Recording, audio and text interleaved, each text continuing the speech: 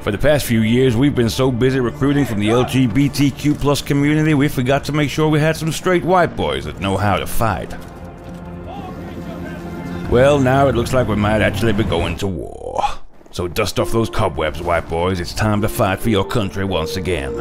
And when I say your country, I of course mean another country. The Army. Be all you can be. Being all you can be is not guaranteed. What's going on, everyone? Jeremy here from the Quartering, and if you've been following anything uh, in the mainstream media, you know that the woke mind virus has infected all levels of our government. Uh, I cover in a separate video today about this ridiculous uh, equity bill for the open and free internet that Biden is thrusting upon us. That uh, really not anybody, really nobody's covering. So make sure you check that video out. But the U.S. military, in particular the Army, has spent a lot of time um, and a lot of our tax dollars advertising their wokeness, their inclusivity. They spend time with all these various video ads and recruitment videos uh, about how open and diverse they are, and how anybody in the LGBTQ community should should sign up, and it's super awesome, except for when there's an actual threat of real combat. Then they roll out an ad full of exclusively white men, and it did not go well at all for them. And we'll get into that after a super quick word from this video sponsor, Private Internet Access. Huge shout out to this video sponsor, Private Internet Access. Look, in current year, everyone basically has to have a VPN. It's a extremely versatile and now basically required tool of browsing the modern internet. And that's why I'm happy to be partnered with Private Internet Access and have been for over a year now. It's a VPN I use, it's a VPN I recommend to my friends and family, and I have a massive discount for my viewers. In short, a VPN allows you to change the location that you may be seen as browsing the internet from. This helps you unlock television shows and movies that might not be available in your area. It allows you to browse the internet anonymously. Heck, even right now, we just saw several countries, for example, Google and Meta, are now blocking news in Canada. And, well, how are you going to get your news? Well, you could change your location. VPN helps protect your privacy, secure your data, and bypass network blocks. It comes in extremely important all the time. That's why I have it on my computers, laptops, and mobile phones. Private Internet Access is an open source app with no usage logs, unlimited bandwidth, high speed global server network, dedicated apps, powerful encryption, and 24 7 live support. Unlock the power of the internet and stay censorship free by using my link in the description below and get yourself private internet access today at a massive discount. So we know that the U.S. military has spent a lot of time over the past couple years, in particular under the Biden administration, um, getting woke and uh, promoting all sorts of nonsense. You can see this article from just earlier this year in the New York Post. America's woke military is leaving us dangerously unprepared. You, know, you see all the memes like American military and it's some cringe like drag show, and then the Chinese military. It's like all these killing machines. House Republicans voted to end diversity, equity, and inclusion programs and personnel at the Pentagon, and one wonders whether the U.S. military will ever be the same. The provision was one of a number of anti woke measures that the House passed in the National Defense Authorization Act, including reversing the Pentagon's new uh, abortion enabling paid travel and leave policies that have occasioned sputtering outrage. Now, I don't know what went wrong when I grew up, all the recruitment ads were like dudes kicking butt, things blowing up, and hot chicks and money and jet skis and stuff like that. I'm pretty sure that still is stuff that appeals to young men, which is what they are recruiting for the most part. Let's be honest. Um, sure, there are strong women in the armed forces, but um, they're a small portion of it. And um, you know, I think that in particular, it's our fortunate sons. It's the southern, southern, poor, and white who get recruited in the United States military, and um, and that's just the facts, right? And they give them opportunities with the GI Bill and things of that nature, and that's to me what seems like uh, the best recruitment, right? Give people an out, give people an opportunity. That's what you should be selling, not wokeness. And according to the National Security Council, John Kirby, there's no way President Joe Biden would ever sign such legislation that put our troops at greater risk or put our readiness at risk. Now, remember, we have this uh, white rage or the white, uh, you know, we have that Milley guy. We have all sorts of.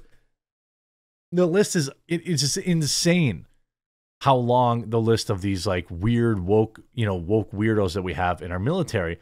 Well, now that stuff might actually hit the fan, hilariously, the military put out this new ad, the US Army, and they got absolutely ratioed into oblivion.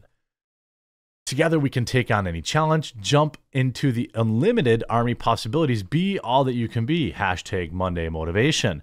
It's a 30 second ad, um, which just is standard. Well, looks like awfully white.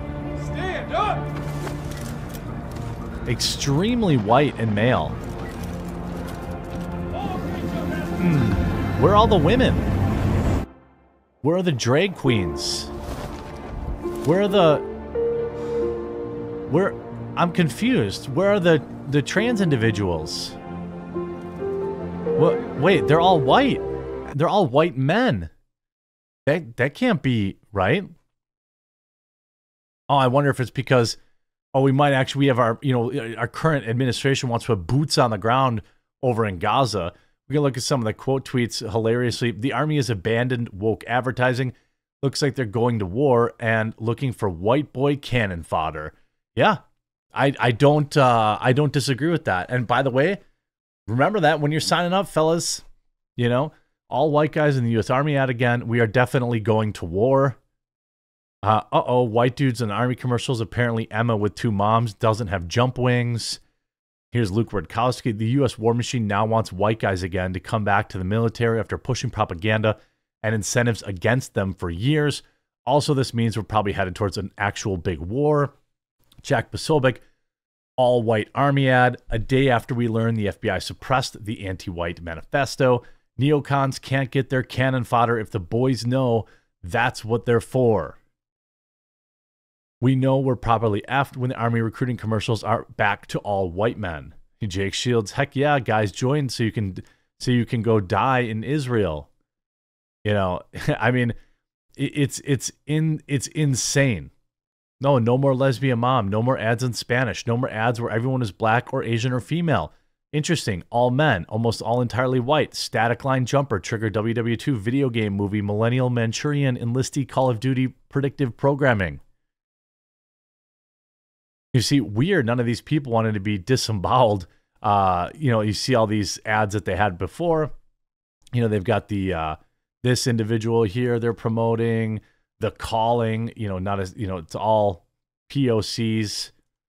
Um, here you have. I mean, look. I mean, I'm not going to pretend like there aren't black people in the military, but um, you know, I think that you know they're just as brave as anyone else. But I think it's pretty hilarious, and it's also scary. You see Iraq veterans saying they're bringing back actual men to recruiting commercials. That could only mean one thing if we're really being honest. The military industrial complex is pulling the strings now over the woke pandering y'all tried to go for. The people made this bed, now sleep in it. The advert is full of white men, dog, we're going to war. I mean, it's it's it's it's a little scary. You see, don't fall for it, boys. Kyle Jarman, where's the div- Carl Benjamin? Where's the diversity? Mark Dice, where are all the drag queens you've been recruiting for the last few years? This ad gets an F in diversity. I mean, uh, you know, we're going to war. Nah. I mean, I, I get you will go to war and you will be happy. No time for diversity now that it's wartime, huh, guys? I mean, that's where a lot of this stuff generates from when times are extremely good. That's when you have all this extra time for woke nonsense. I mean, you see, uh, conservative commentators have claimed a new U.S. Army recruitment ad, which predominantly features white men, is a reaction to 15 years of relentless brainwash, progressive brainwashing, and a sign that we're definitely going to war. This 30 second ad depicts a group of soldiers jumping from a Chinook helicopter and parachuting to the ground, together with the captions, blah, blah, blah, blah, blah.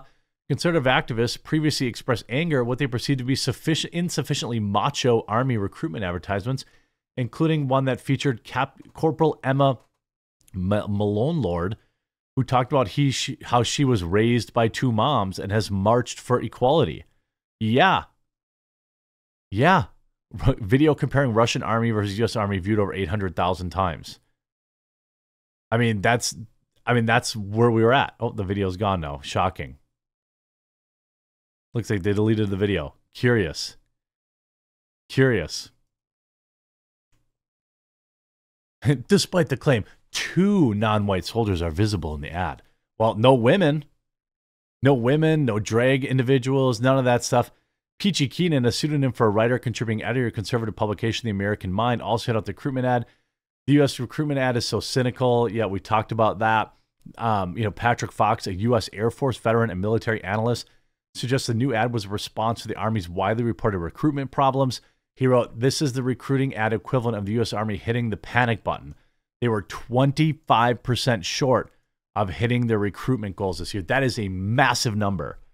You know, that is, and, who would want to be a part of that anyway? You know, like you want to go, you want to go and sign up to have General Milley or whatever their pronouns are, whatever, say that there's white rage and and you're bad and all this kind of crap.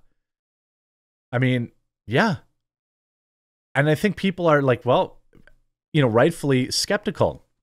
Over the past fiscal year, the Army has fallen 10,000 short of its goal to recruit 65,000 troops, another after missing out on the target of 60,000 the previous year by 15,000. At a press briefing discussing the issue, Army Secretary Christine Wormuth said, it was evident we were going to have to make more transformative changes. The job market has changed significantly over the past 20 years, but we as the Army haven't changed much. Republican Senator Tommy Tuberville is currently blocking nearly 400 military promotions to protest against the Pentagon's policy of paying expenses for service members who travel for abortion. Fine with that. Fine. I'm 100% fine with that. You know, like, eh, this is what you get. Like, we need a return to masculinity. We need a return to what made America great.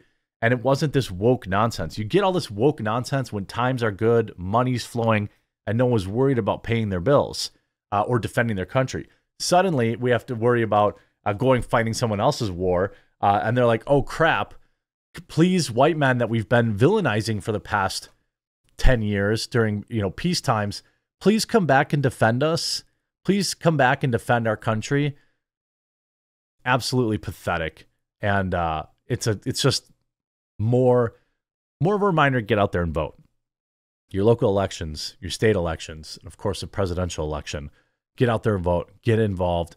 Listen to what these people are saying because they're usually telling you exactly who they are. I hope you enjoyed this video, and we'll talk to you again real soon.